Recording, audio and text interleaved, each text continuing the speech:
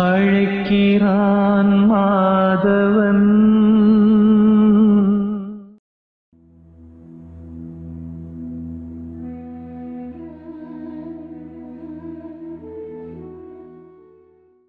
குருவே சரணம் வாழ்க வளமுடன். டுடே கிளாஸ் வந்து எக்ஸலண்ட் நான் சொல்கிறதுக்கு வார்த்தைகளே கிடையாது.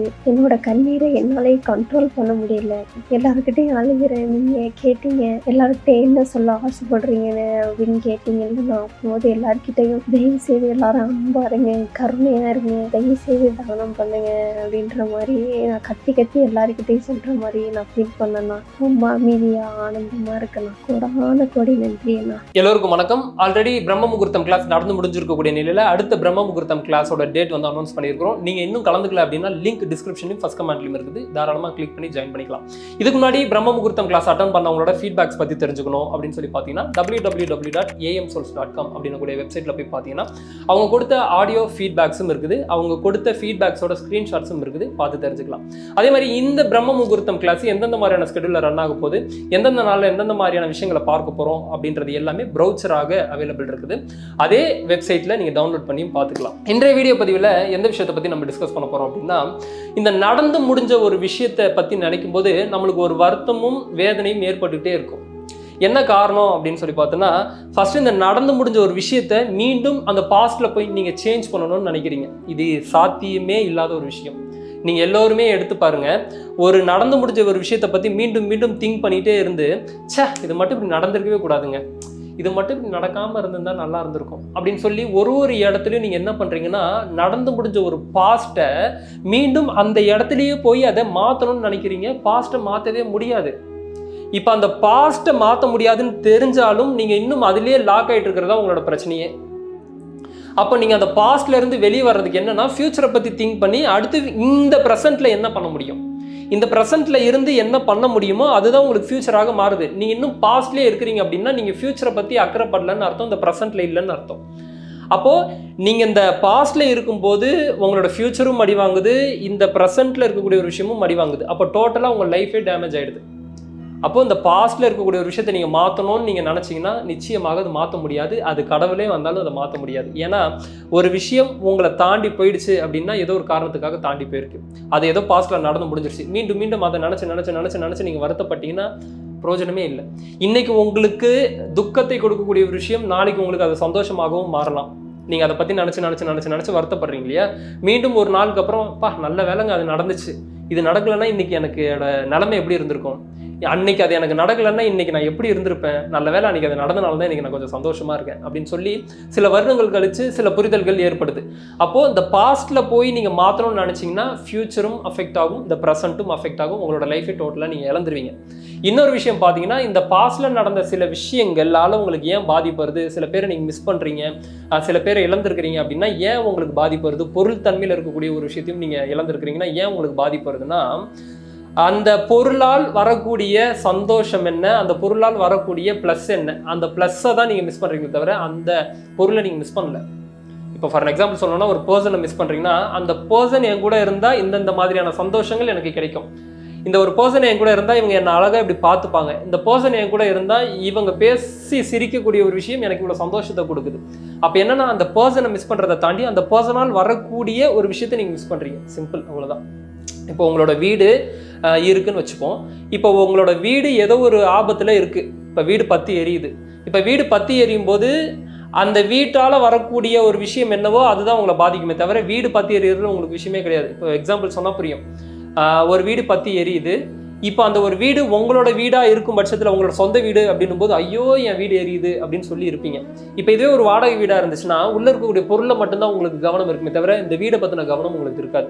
இப்போ இதுவே நீங்கள் காலி பண்ண ஒரு வீட்டை ஒரு வாடகை வீட்டை வீடு பற்றி எரியுது அப்படின்னும் போது மற்றவங்களோட வீடு பற்றி எரியுது இல்லை நீங்கள் காலி பண்ண ஒரு வீடு பற்றி எரியுதுன்னா நீங்கள் ஜஸ்ட் நின்று வாட்ச் தான் பண்ணுவீங்களே தவிர அப்படியே உங்களுக்கு வலி வேதனைகள் ஏற்படாது. அப்போ சம்பவம் ஒன்றாக இருந்தாலும் ஏன் உங்களுக்கு வழி வேதனைகளை தருதுன்னா அது எப்போ உங்களோட பொருள் அப்படின்னு சொல்லி எடுத்துக்கிறீங்களோ எப்போ அதுக்கு நீங்கள் ரெஸ்பான்சிபிலிட்டி எடுத்துக்கிறீங்களோ அப்போ உங்களுக்கு வழி வேதனைகளை கொடுக்க ஆரம்பிக்குது. அப்போ உள்ளே இருக்கக்கூடிய பொருளால் உங்களுக்கு தான் பிரச்சனையை தவிர இந்த நடக்கக்கூடிய சம்பவத்தால் உங்களுக்கு பிரச்சனையே கிடையாது. அப்போ ஒரு விஷயத்தை நீங்கள் புரிஞ்சுக்க வேண்டியது என்னென்னா இந்த பாஸ்ட்டை நீங்கள் மாற்றணும்னு நினைக்கிறத தாண்டி என்ன இப்போ ப்ரெசண்ட்டில் நம்ம ஆக்ட் பண்ண முடியும்? இந்த ப்ரெசென்ட்டில் நம்ம என்ன சேஞ்ச் பண்ணால் அடுத்து நம்மளோட லைஃப் நல்லா இருக்கும்னு சொல்லி நீங்கள் கடந்து போகிறதுக்கு தான் நீங்கள் முயற்சி பண்ணணும்.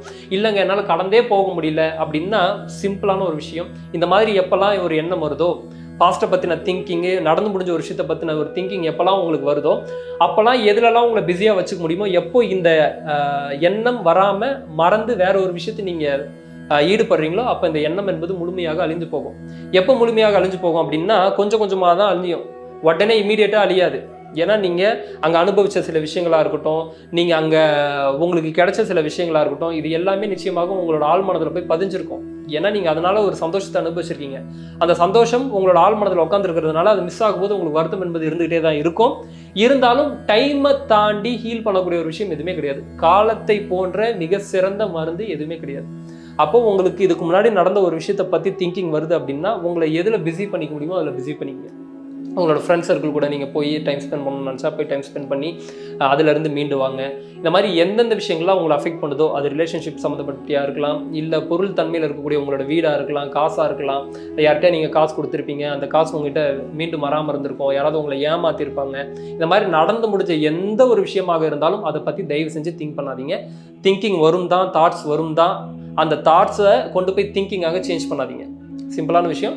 தாட்ஸ் வரும். அந்த தாட்ஸை கொண்டு போய் திங்கிங்குள்ளே போய் போய் போய் போய் ஐயோ இப்படி நடந்துருச்சு இப்படி நடந்துருச்சு இப்படி மட்டும் நடந்திருக்கவே கூடாது. இந்த ரெண்டாயிரத்தி பதினஞ்சு மீண்டும் என்னோட லைஃப்பில் வந்தால் எப்படி இருக்கும்? இப்படின்னு சொல்லி நடந்து முடிஞ்ச ஒரு விஷயத்துக்கு நீங்கள் வந்து கற்பனை பண்ணிகிட்டே இருக்கிறீங்க. அது இதுக்கப்புறம் நடக்கவே போகிறது கிடையாது.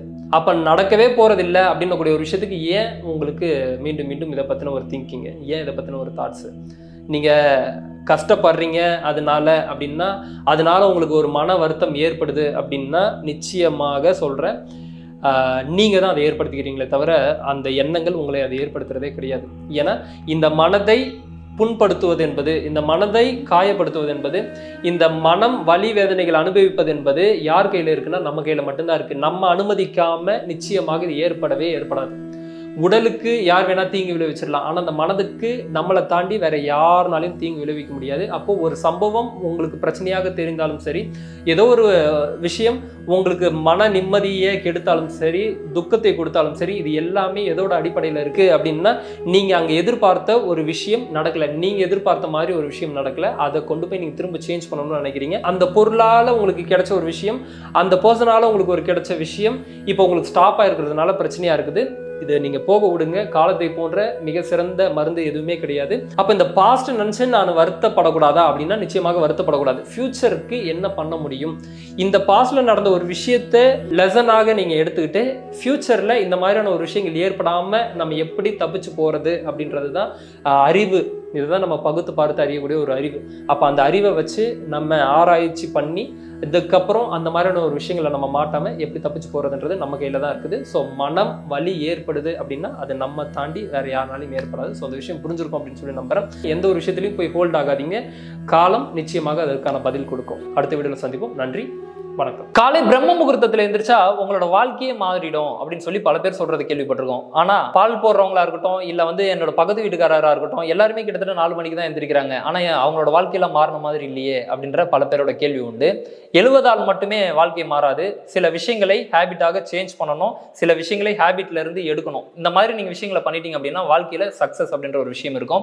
ஸோ அதுக்காக தான் இருபத்தி ஒரு நாள் ஆன்லைன் வகுப்பு ஜூம் ஆன்லைன் ஜூம்ல வந்து நடக்க இருக்குது. அதுல என்ன மாதிரி விஷயங்கள்லாம் இருக்கும்னு சொல்லி பார்த்தீங்கன்னா இருபத்தி ஒரு நாள் டிஃப்ரெண்டான மெடிடேஷன்ஸ் இருக்கும். அதே மாதிரி சில சேலஞ்சஸ் கொடுப்போம். அதை நீங்கள் தொடர்ந்து பண்ணிட்டு வரும்போது அது ஹேபிட்டாக மாறும். அந்த விஷயம் ஹேபிட்டாக மாறும்போது உங்களோட லைஃப்பில் பல மாற்றங்கள் கொண்டு வரும். அது எப்படி அப்படின்னா ஸ்பிரிச்சுவல் growth-ஆக இருந்தாலும் சரி ஃபினான்ஷியல் குரோத்தாக இருந்தாலும் சரி வாழ்க்கையில் ஏற்படக்கூடிய பிரச்சனைகளை எப்படி ஃபேஸ் பண்ணுறது ஸ்ட்ரெஸ் டிப்ரெஷனு இதில் எல்லாத்துலேயும் இருந்து விடுபடுவதற்கு ஒரே ஒரு புரிதல் அவசியம். அந்த புரிதல் உங்களுக்கு ஏற்படும். ஸோ இந்த கிளாஸில் நீங்கள் ஜாயின் பண்ணணும் அப்படின்னா கீழே கொடுத்துருக்க அந்த லிங்கை கிளிக் பண்ணி ஜாயின் பண்ணீங்க.